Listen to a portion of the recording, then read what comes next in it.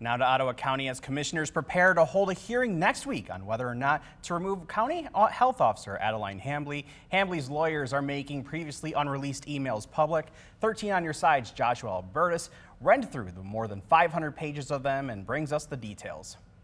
The law firm representing Ottawa County Health Officer Adeline Hambley releasing over 500 pages of emails, information they say was left out of Board of Commissioners Chair Joe Moss's charges when he moved to convene a hearing for Hambley's removal set for October 19th.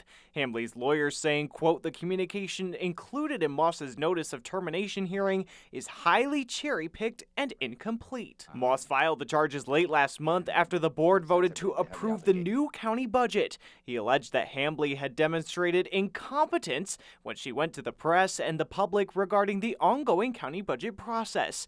Hambley asserting she did so to inform the public how proposed cuts to the health department's budget could force the department to close its doors. Moss also claimed Hambley did not cooperate with the budget process and that she made false claims that she was not involved in it.